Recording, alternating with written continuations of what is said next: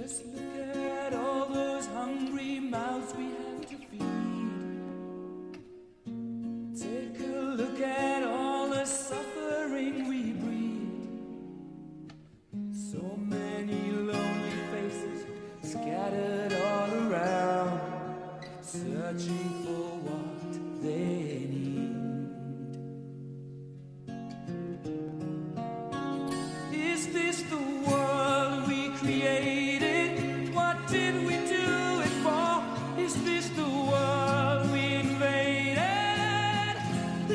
Against the law, so it seems in the end.